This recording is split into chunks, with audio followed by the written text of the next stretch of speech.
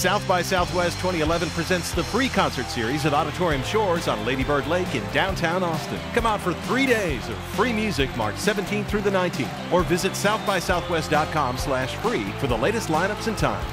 South by Southwest presents Bright Eyes, Blue October, The Strokes, and more. Brought to you by Cirrus Logic, the Texas Lottery, Sam's Club, and KVUE. South by Southwest Music is brought to you by these sponsors.